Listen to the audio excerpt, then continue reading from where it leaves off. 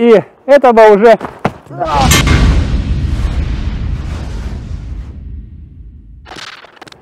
Еще раз смотрим. Руки, которые могут вас бить, они пропускаются. Но вставать вот в такую стойку, как он встал, это значит играть по его правилам. Он уже будет ко мне более внимателен и так далее. Когда человек подходит к вам и начинает что-то от вас требовать, начинает на вас, грубо говоря, на жаргоне наезжать, то вы не должны на это сильно обращать внимание. Если вы примете его условия игры, вы всегда будете проигрывать. Так как мы говорим о неподготовленных людях, те, которые начинают только смотреть наш канал и, возможно, ничем не занимаются, то поэтому ваша задача это сделать предупреждающее движение руками, ногами и дальше уже уходить. Удары опасны какие? Первый удар, смотрите, первый удар идет прямой, второй удар может быть боковой. Первый удар прямой, второй боковой и вот туда, куда попадают боксеры, это челюсть, это висок и это если он э, такой более-менее подготовленный, то он не будет бить кулаком в вашей кости. Он будет наносить удар, вот видите, внутренней стороной своего предплечья, вот сюда, в район уха. Вот так.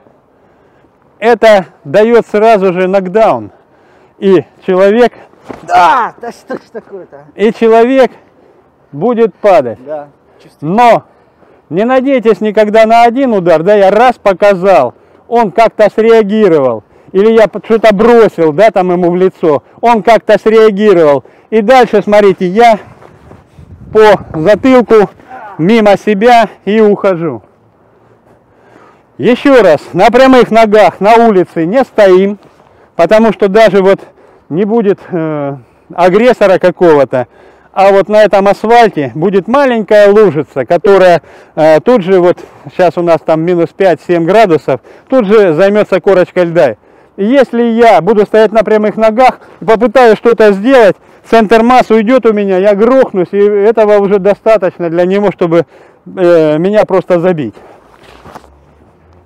Еще зимой, когда ваше лицо замерзает, когда ваши руки замерзают, при ударах сжатым кулаком по лицу будут так называемые сечки. То есть на самом лице будет сразу же разрываться и течь кровь.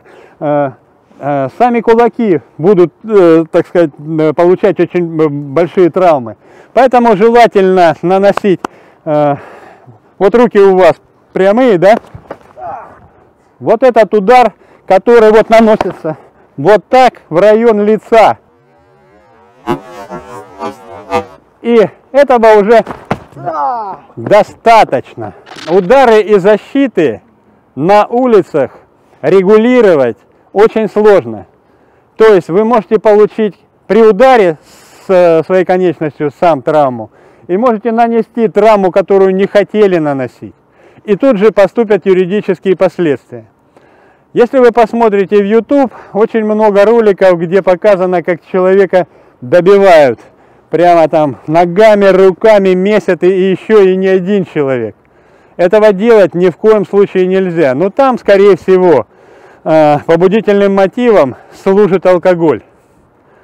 И у того, кто видит, что противник повержен, дальше планка падает, и они уже бьют его по лицу ногами. То есть это нанесение как минимум средней степени тяжести повреждений. Это как минимум уже несколько лет тюрьмы. Поэтому, если вы хотите прийти домой, а самозащита это что? Это прекращение агрессии. Это не кто из нас здоровее, кто из нас быстрее, кто из нас моложе. Найдется всегда тот, кто моложе вас, кто быстрее вас, кто сильнее вас, кто подготовлен лучше. Но вы должны на улице и занимаясь самозащитой, вносить свою лепту вот в эту игру. Если вы подпустили уже человека, то вы должны им управлять. Это уже не драка и не сила на силу, что нам говорит физика, да? То есть сила действия равна противодействию. На улице этого не должно быть. И силы у вас, э, как правило, не будет, так как э, нападения обычно неожиданные. Если вы идете и слышите сзади себя тяжелое дыхание и э, там шаги, то вы не должны идти так же спокойно. Вы должны шагнуть и развернуться и посмотреть, что там, кто там вас так догоняет. Ничего в этом унизительного и трусливого нет. Человек, если он ничего не хотел, просто пройдет мимо, возможно, удивится, что вы так резко э, развернулись. Но если это была предварительная подготовка к нападению, вы себя обезопасите. Нельзя долго разговаривать. В мозге речевой центр и центр слуха расположены очень близко. И поэтому, когда у меня речь здесь идет, и я еще слушаю, то как минимум я не слышу и не владею обстановкой, что творится у меня за спиной. Глаза у меня на затылке отсутствуют, поэтому здесь только слух и интуиция. И если я иду и хохочу, и разговариваю минуту, две, три, то я уже себя ставлю жертвой, себя представляю на улице. Во-первых, гаджет он хочет отобрать, а во-вторых, полазить по моим карманам. Раз у меня есть гаджет, значит есть и деньги. А может быть ему понравилась моя куртка. Все может быть. Поэтому задача на улице не подпускать, это дистанция. Когда к вам просто подходят и что-то пытаются спрашивать, вот уже это дистанция удара. Вы можете слегка отойти и отойти не фронтально, а слегка в бок и разговаривать с ним. Этим самым я уже разорвал дистанцию. Да, смотрите, я уже разорвал дистанцию.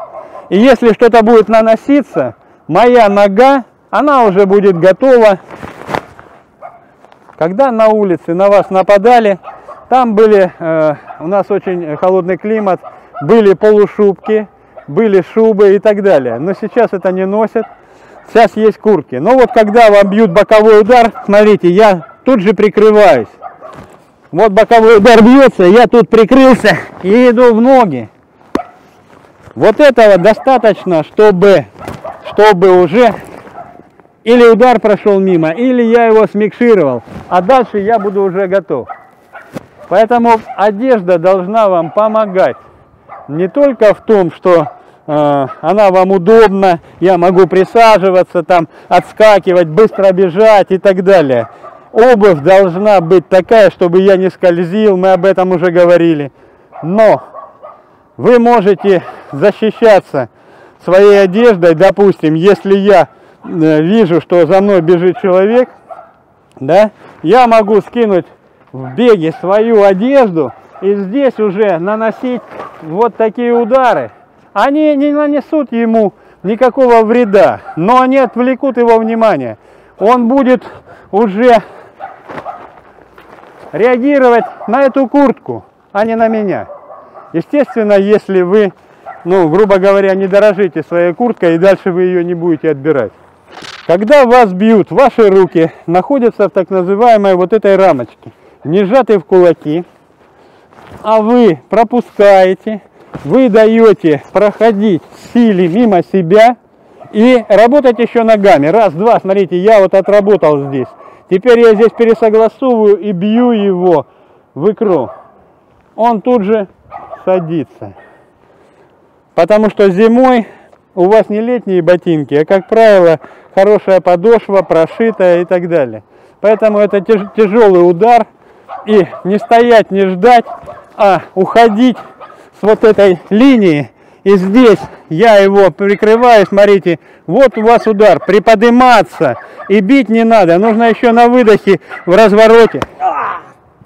И уйти. Если я хочу отключить одну руку, ну, или, допустим, если я попаду и вот в этой ситуации вот сюда по затылку. Мы говорили, что удар должен наноситься так, как будто черепная коробка отрывается. Ни в коем случае не бить ногами в лицо, ни в коем случае не бить в грудь и в спину ногами, это закончится для вас плачевно. Еще раз напоминаю, лицо это руки, это руки это кулаки, это болевые на пальцы. И ноги. Я раз туда, нога моя длиннее, и дальше ухожу.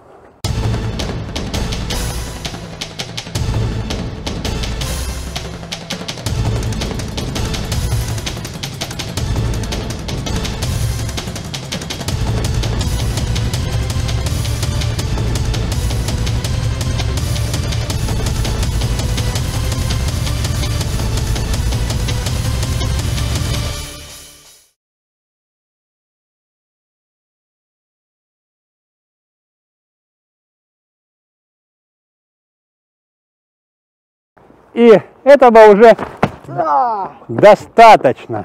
Ну извини. за что? Этого уже достаточно. Артем, не надо. Что такое? Покажи ухо. Да не надо. Нет. Как у Миронова будет. А давай найдем такое ухо черное, зеленое и покажи. Ну извини. некрасиво, Николаевич. Ну извини, я Ладно, ладно, ладно. еще раз говорю.